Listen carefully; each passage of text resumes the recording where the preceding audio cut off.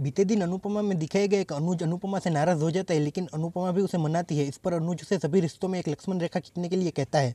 दूसरी तरफ़, अधिक और पाखी में मुसीबतें कम होने का नाम नहीं लेती, लेकिन अनुपमा में आने वाले ट्विस्ट यहीं खत्म नहीं होते हैं। आगे दिखाया जाएगा कि अनुपमा अनुज को मनाने की पूरी कोशिश करती है, लेकिन पहले बरखा वनराज की धमकियों को याद दिलाकर नाश्ते का माहौल ख़राब कर देती है।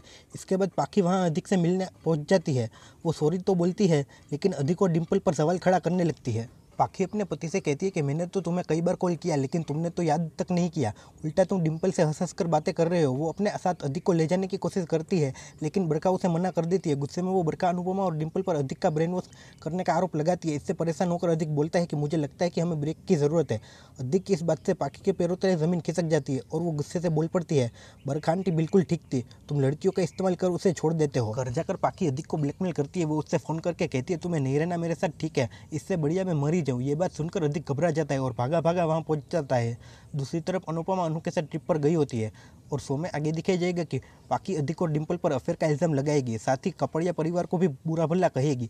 इस बात से परेशान होकर अनुपमा फिर से अपनी बेटी को जोरदार तमाचा मारेगी। दूसरी तरफ़ वनराज बेटी पर भरोसा न करने के लिए अनुपमा पर नाराज़गी ज़ाहिर करेगा।